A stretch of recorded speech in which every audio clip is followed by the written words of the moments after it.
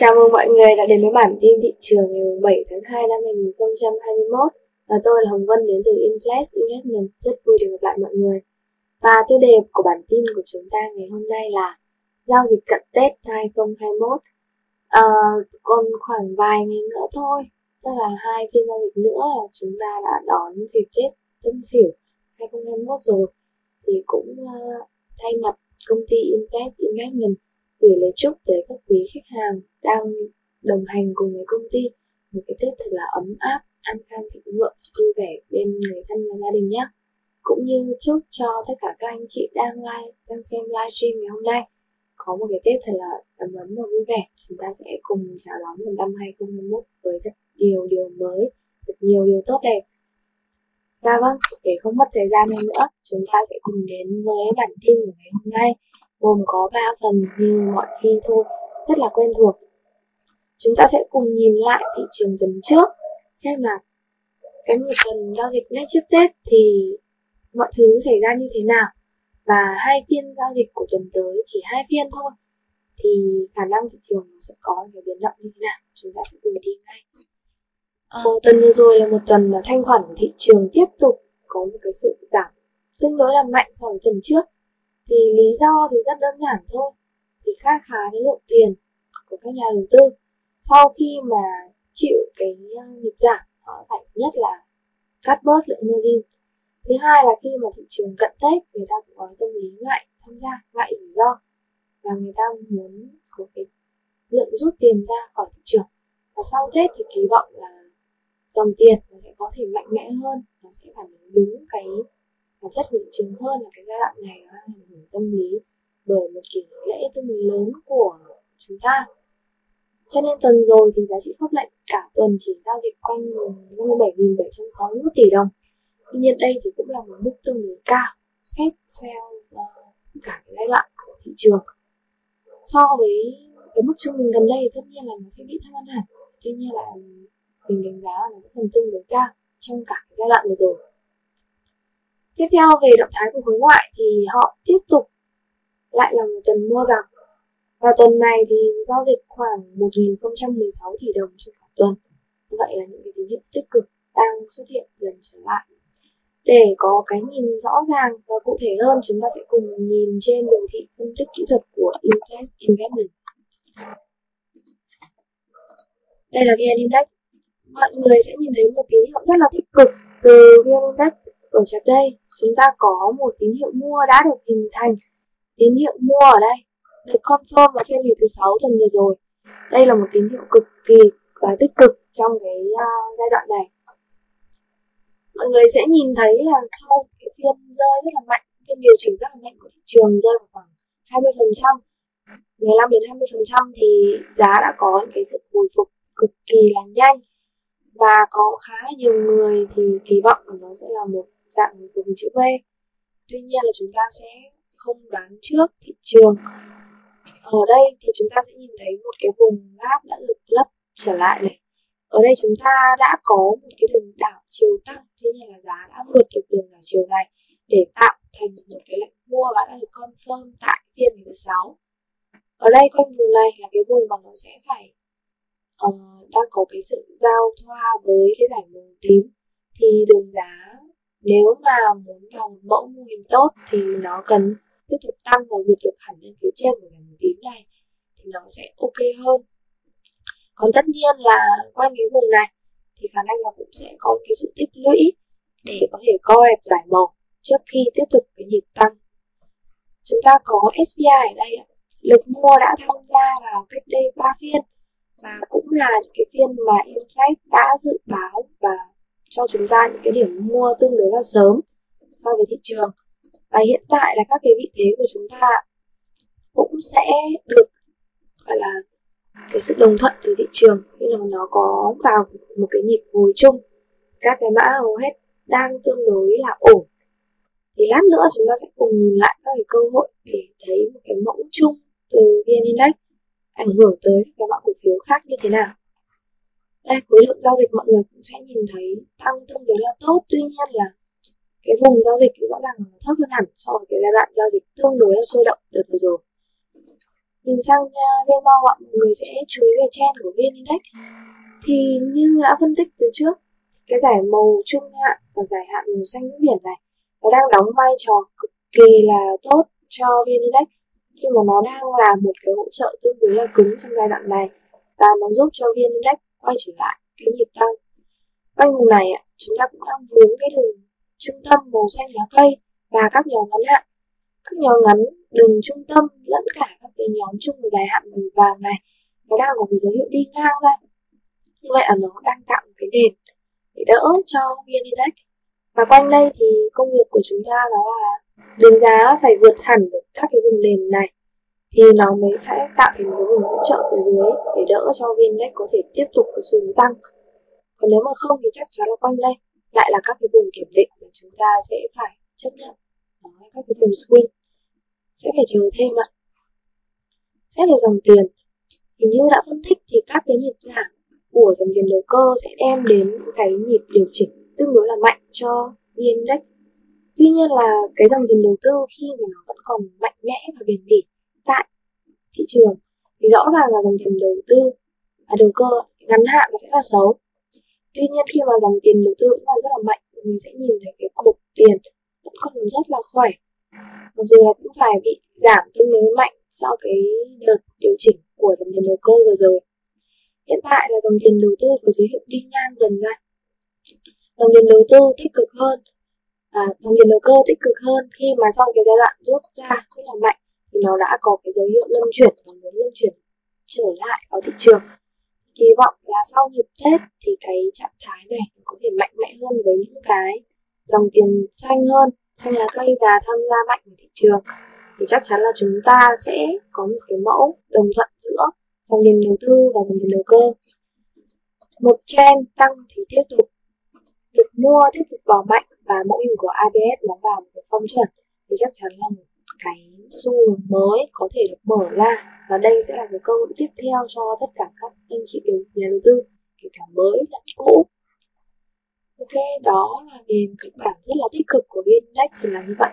Tuy nhiên là chúng ta nhớ là tuần tới thì chỉ có duy nhất hai phiên thôi.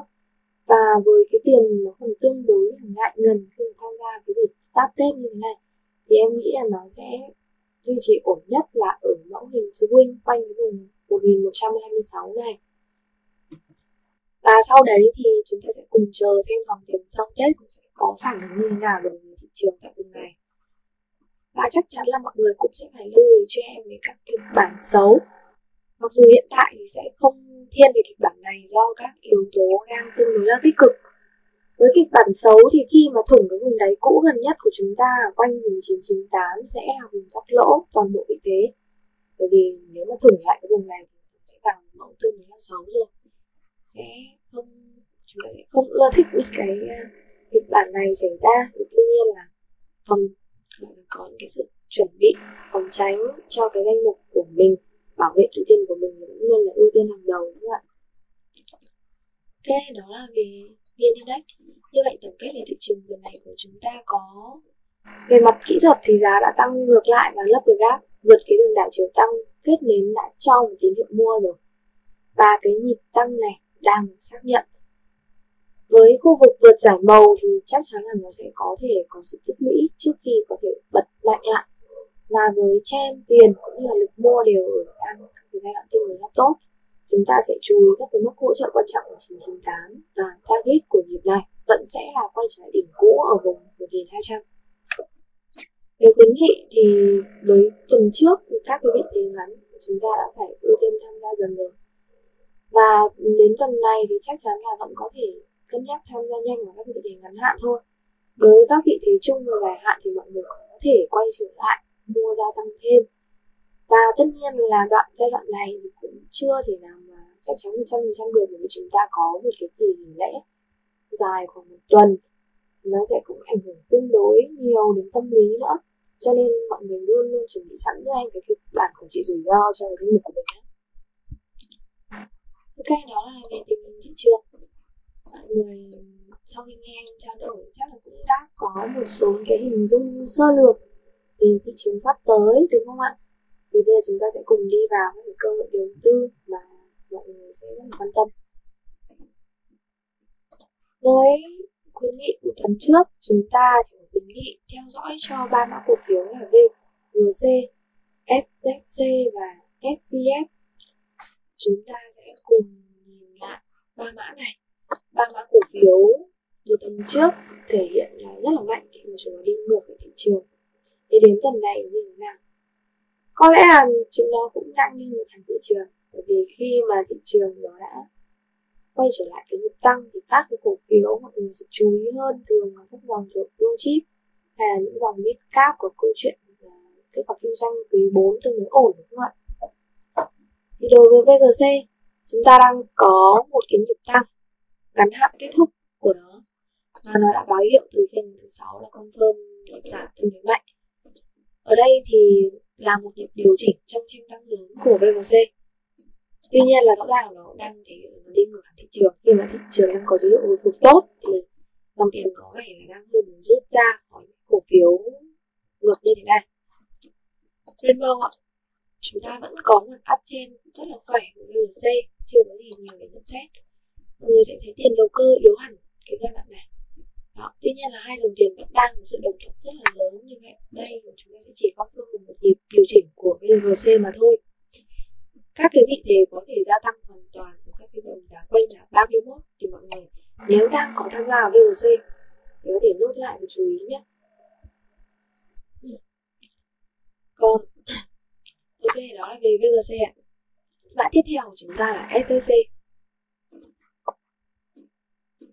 SCC tuần rồi là một tuần mà đang phải tích lũy quanh cạnh dưới của ngành màu xanh có vẻ như là nó vẫn chưa được thể hiện tốt cho lắm ở đây lực bán đang phát triển tương đối là mạnh.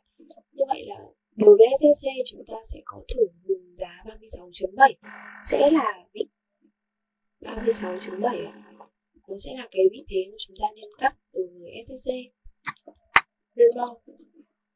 số vùng tăng thì vẫn tốt, nhưng mà có vẻ là quanh đây đang phải nhận tương đối là nhiều cái vùng hỗ trợ từ giải đoạn chúng ta có vùng cắt lỗ đối với Rainbow sẽ ở vùng giá 34.4 quanh đây sẽ có nhịp bật tương đối là khỏe. Tuy nhiên là từ vùng giá 38 về lại 34 chắc chắn là nó sẽ tạo ra những cái khoản lỗ đối với vị thế đầu tư của mình. Mọi người có thể cân nhắc đến mức chịu đựng của danh mục để có thể xem xét là có thể giữ được từ cái vùng dưới đấy hay không. Ở đây ạ, chúng ta có tiền đầu cơ rút ra hẳn từ SC như vậy là chưa phải là một mã cổ phiếu tốt trong cái giai đoạn này có là những cái mã cổ phiếu ngược này chúng ta chỉ có thể đánh thật là nhanh. Trong cái giai đoạn bò lạc của thị trường nhưng mà thị trường còn đang khá là yếu. Khi mà dòng tiền nó có sự đồng thuận quay trở lại các với mình, nó nổi bật hơn thì chúng ta nên quay trở lại đối với các cổ phiếu như vậy. Tiền đầu tư thì vẫn ở SSC tương đối khỏe thôi, chưa có gì nhiều. Như vậy kịch bản của chúng ta là thủng vùng 36.7 mọi người nên ưu tiên cắt lỗ giúp em với lại SSC chúng ta sẽ chờ đợi các cơ hội ở các cổ phiếu tốt hơn khác mã tiếp theo của chúng ta ở lần trước đó là mã SGS mã sông đà này thì có vẻ là vẫn tiếp tục ổn. Cái xu hướng vẫn đang được tiếp tục tương đối khỏe. Với lực mua đang phát triển này nhìn Rainbow lại là một uptrend khá là giống với mẫu của VNC tuy nhiên là xu hướng tăng của nó vẫn đang tiếp tục trong ngắn hạn và chưa có cái dấu hiệu điều chỉnh mạnh.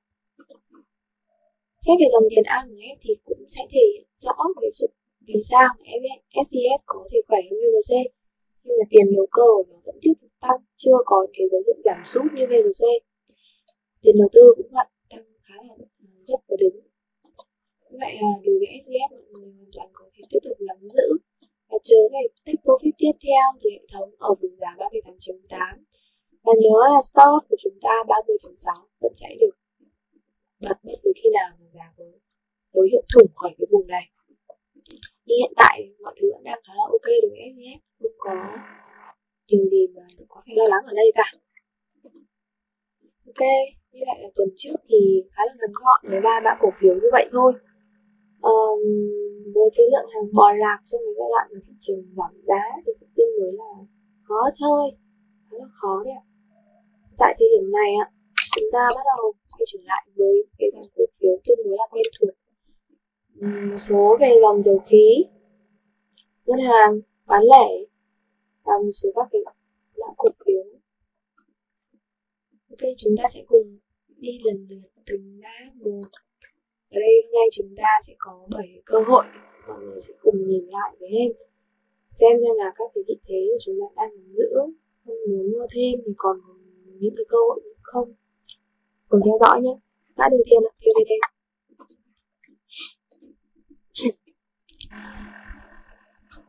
chúng ta sẽ cùng phân tích thật là kỹ càng tất cả các mã này từ chào week trước để mọi người sẽ nhìn ra những câu chuyện dài hạn hơn nếu mà muốn tham gia cổ phiếu trong giai đoạn này. Đối với chart week của PVD thì rõ ràng tuần vừa rồi là một tuần cực kỳ tốt. Khi mà PVD chạm về hỗ trợ chart week ở phía dưới này, đó là cái vùng chạm cạnh trên giải màu cũng như là đường đảo chiều giảm. PVD đã có cái nhịp bật tăng tương đối là khỏe tuần này SPI thì đang cho một dấu hiệu suy thoái. Thì tuy nhiên là chúng ta sẽ cần phải chờ thêm để xem xét về cái trên tăng mới của PVD xét về chart đây ạ. Sau một cái tín hiệu bán thùng hàng giải mỏ PVD tạo đáy rất là nhanh và liên tiếp với phiên tăng mở gáp, tạo ra một cái xu hướng hồi tương đối là mạnh cho PVD hiện tại giá tích cực khi vượt hẳn lại được phía trên giải màu xanh tuy nhiên là chúng ta vừa mới đường đảo chiều tắc chưa hình thành lại được tín hiệu mua như vậy là ngắn hạn ở TPD tương đối là tích cực. Tuy nhiên là chúng ta sẽ cần những cái phiên vượt hẳn vùng giá 20.5 để confirm cái tín hiệu mua cho TPD trong giai đoạn này. Đứng mua vào tương đối là khỏe, đây là một mẫu ok. Rainbow PVD của chúng ta đã có một cái vùng tạo đáy nhanh ở cạnh dưới của dàn màu vàng nó đang thể hiện cái vùng hỗ trợ cực kỳ tốt cho cái xu hướng của PVD chúng ta vẫn đang duy trì một xu hướng uptrend với các nhóm chung và dài hạn ở đây. Đang cắt nốt lên các đường dài hạn và siêu dài hạn là chúng ta đã có một uptrend hoàn chỉnh cho một cái trend tăng có thể là trong chung và dài hạn đối với PVD luôn. Như vậy, hiện tại là giá đang nằm trên hết các đường giải màu. Như vậy, đang là một mẫu, vẫn còn khá là khỏe dòng tiền dòng tiền đầu cơ quay ngoắt trở lại vào PVD rất là nhanh. Và chúng ta sẽ thấy cái sự năng động từ dòng tiền đầu cơ có thể giúp cho PVD đạt lại các cái vùng giá cũ ở quanh vùng giá 23 chấm. Tuy nhiên là chúng ta sẽ cần phải chinh phục từ mốc một trước khi về lại đỉnh cũ này. Với dòng tiền đầu tư thì vẫn đang rất là tích cực như vậy, mọi thứ đang khá là sáng đối với PVD thì chúng ta sẽ cần chờ nốt cái vùng 20.5 để confirm một tín hiệu mọi người hoàn toàn có thể tham gia mua đối với PVD tham gia vị thế mua mới ạ. PVD cũng như một số dòng dầu khí đi bên cạnh thì chúng ta sẽ nếu anh chị nào có tò mò có thể inbox cho em để em có thể phân tích thêm nhé đây sẽ là một cái vùng tham gia rất là ok đối với PVD trong cái giai đoạn này. Mã tiếp theo của chúng ta trong tuần này sẽ là Techcombank. Techcombank, CTG, mã cổ phiếu về dòng ngân hàng tương đối là hấp dẫn. Người khá là thích, ưa thích cái dòng cổ phiếu như thế này. Chúng ta sẽ cùng nhìn một chút để cho biết của Techcombank. Một mẫu tương tự như PVD khi mà về các cái vùng hỗ trợ của Trái Quýt, hầu hết là các mã đều ở cái form tương đối là giống nhau. Vùng này SPI cũng suy thoái sẽ phải chờ thêm diễn biến đấy Chắc đây, chúng ta có Techcombank thì ok hơn PVD. Mẫu thì giống hệt đấy, mọi người nhìn sẽ nhìn thấy cái form của nó tương đối là giống. Nhưng mà giải màu của Techcombank rõ ràng là nó dày hơn. đó sẽ là những cái hỗ trợ còn có hiệu lực. Và Techcombank thì phiên thứ sáu chúng ta cũng confirm về tín hiệu mua như thế này và cũng tương đối là tích cực. Ở đây ạ, SPI cũng tương tự là một cái phát triển mà nó khá là mạnh mạnh mẽ trong cái nhịp hồi này đây hiện tại là Techcombank còn quay gần trở lại cái vùng đỉnh cũ vừa rồi quay vùng giá 37 36 đến 37 còn một giá nữa Techcombank chinh phục được vùng đỉnh cũ này như vậy là Techcombank hiện tại đang thể hiện là một mã cổ phiếu tương đối là khỏe. Xu hướng về rainbow của Techcombank thì cũng vượt mà hơn so với VVD chúng ta có một mẫu up trên chuẩn chỉnh rồi.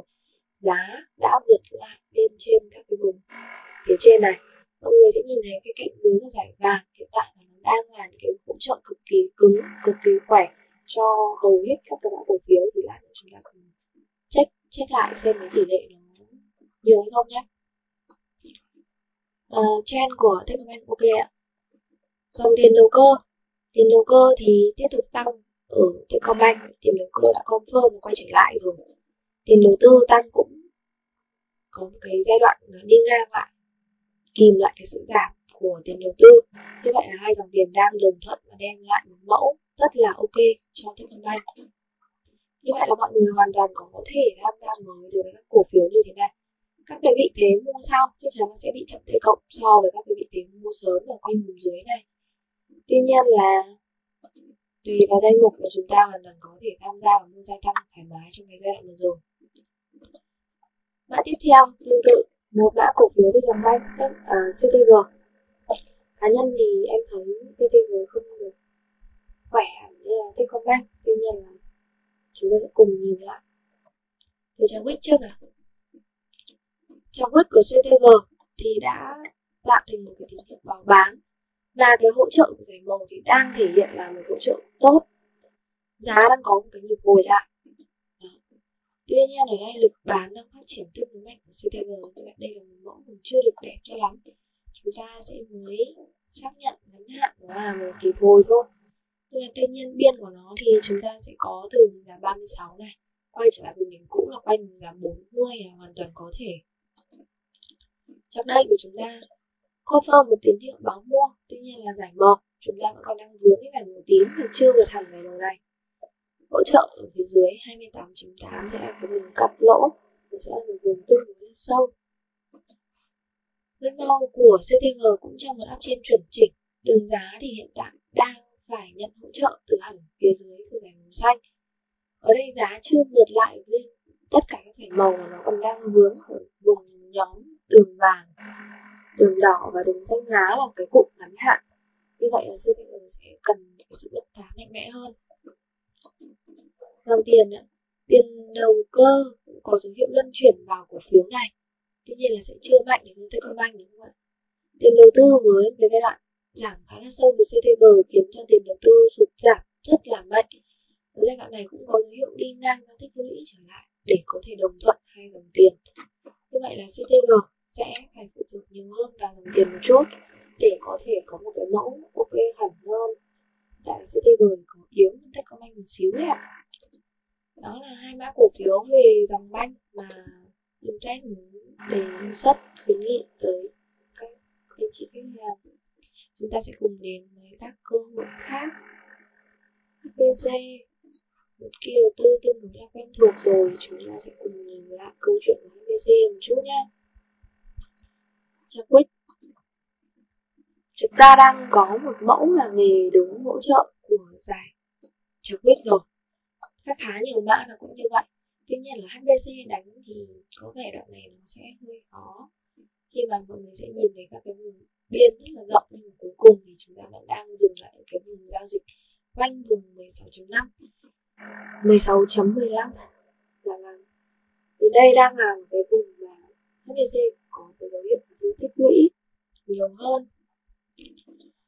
Trọng quất, chúng ta đang có cái mẫu về lực bán phát triển như vậy là vẫn chưa ổn định ổn hẳn trong dài hạn tuy nhiên chắc đây chúng ta có gì? Sau một cái vùng giá gọi là tích lũy nhưng thực ra là chúng ta đang có một cái biên tăng, nó là giảm khá là đột ngột từ ABC hiện tại chúng ta đang có một cái tín hiệu báo bán và giải màu thì đang có dấu hiệu co hẹp. Như vậy là ngắn hạn. HBC vẫn đang ở cái mẫu còn khá là xấu. Chúng ta sẽ phải vượt hẳn lại vùng giá 18 thì có thể confirm với xu hướng cũ. Có điểm, có một điểm đáng chú ý ở đây là SPI của chúng ta đang vào cái giai đoạn suy thoái. Như vậy chúng ta sẽ có thể theo dõi dần đối với HBC để xem xem là sau những cái lũy này thì HBG sẽ di chuyển theo hướng là thủng đáy hay là có thể break lại cái vùng đỉnh cũ để chúng ta có thể tham gia lại đối với cổ phiếu HBC nhưng mà xét về Rainbow ạ, chúng ta sẽ nhìn thấy một cái vùng hỗ trợ rất là cứng của HBC ở quanh cái vùng giá 14 15 này 14.8 này ạ. Quanh cái vùng giá 15 này đang là các cái vùng hỗ trợ cực kỳ cứng của HBC đối với một mẫu đảo trên thì hiện tại các cái nhóm trong dài hạn ở đây ạ. Đang cắt nốt lên các nhóm siêu dài hạn. Như vậy là quanh đây chúng ta sẽ có những cái vùng hỗ trợ rất là cứng cho cái chen khá là dài của APC trong tương lai. Như vậy là đối với việc trên một vùng hỗ trợ thì vẫn ưu tiên đối với vị thế mua, đúng không ạ? Cho đến khi nào mà hỗ trợ của chúng ta mất hẳn cái tính hỗ trợ đó? Xét về dòng tiền ạ. Tiền đầu cơ có vẻ như là không mặn mà với HBC nó có cái dấu hiệu luân chuyển ra mà chưa có cái dấu hiệu yếu dần, chúng ta sẽ còn phải chờ thêm một cái cổ phiếu này. Dòng tiền đầu tư ạ, cũng rút ra nhẹ nhàng theo cái chiều giảm của dòng tiền đầu cơ. Như vậy HVC tạm thời chúng ta sẽ cho danh mục theo dõi và chú ý rất là mạnh những cái tín hiệu từ SPI trong những điểm báo sớm như thế này nhé đó là về HVC mã tiếp theo về EGC ạ. Trắng quýt là mẫu tương tự, đúng không ạ? Về hỗ trợ trắng quýt lực bán phát triển từ người làm mạnh chắc đây của chúng ta. Đã confirm với tín hiệu về các cái vùng mua sớm. Tuy nhiên, nhìn giống mã gì nhỉ? Khá là giống PVD đấy ạ, đúng không? EGC khá là giống PVD tuy nhiên là cái vùng đảo chiều tăng của EGC là vùng 25 giá thì cũng đang nằm trên giải màu và nó sẽ break, gọi là, cả cái vùng phía trên giải màu này. Cùng với đường đảo chiều tăng lúc luôn thì nó sẽ một mẫu khá là ổn để tiếp tục cái xu hướng cũ. Chúng ta sẽ có vùng đỉnh cũ ở đây quanh vùng giá 28 sẽ là một cái biên để EGC có thể dao động và tích lũy năm màu của EGC cũng về cạnh dưới của giải màu vàng và tiếp tục tăng. Thôi khá là đẹp. Giá cần vượt thẳng lên trên các cụm dòng tiền cũng khá là tích cực khi mà dòng tiền đầu cơ đang muốn quay trở lại đối với mã cổ phiếu này. Và chúng ta sẽ cùng chờ tuần tiếp theo. Tiền đầu tư cũng tăng cũng có cái sự tăng à, có cái sự gọi là giảm cái sự tiền đầu tư của chúng ta đang bớt cái sự giảm rồi và nó đang có dấu hiệu tạo đánh ngang quanh vùng này. Sẽ phải chờ thêm một cái mã cổ phiếu này nhé. Đó là về ETC ạ. Mã tiếp theo của tuần này là mã NRC nhìn nhanh một chút về cháu biết xu hướng tăng của NRC vẫn đang được duy trì tốt và không có nhiều sự biến động. Ở đây thì tín hiệu mua lõi này nó đi không giống với thị trường, cho nên mọi người sẽ nhìn thấy một cái mẫu khá là lạ. Ở đây chúng ta vẫn đang duy trì cái tín hiệu mua cũ này quanh vùng giá thích profit một của cháu biết với lực mua vẫn đang tiếp tục vào. Nhìn vào chặt đây thì rõ ràng là chúng ta đang có cái vùng gia tăng. Gia tăng ở đây. Gia tăng. Gia tăng. Tại các cái vùng chạm này tương đối là chính xác. Hiện tại chúng ta vẫn đang duy trì được một cái xu hướng tăng ngắn hạn. Ở đây confirm một cái tín hiệu mua gia tăng ạ sớm từ SPI đối với mã cổ phiếu này. Remo của NLC thì vẫn tiếp tục tăng thôi. AMF tiền đầu cơ quay trở lại rất là mạnh ở hai phiên gần đây, tiền đầu tư tiếp tục mạnh. Như vậy là chúng ta đối với một cái mã cổ phiếu đi khá là khác với thị trường thì mọi người cũng có thể cân nhắc tham gia. Và điểm mua lót này theo SPI quanh cái vùng giá 22.5 ưu tiên là mua thấp cực tốt. Và mọi người nhớ là chúng ta sẽ đánh đối với mã này. Tạm thời đã là với view ngắn hạn thôi. View trung hạn thì chắc là chúng ta sẽ còn xem xét thêm các yếu tố khác. Và mã cuối cùng của tuần này ạ.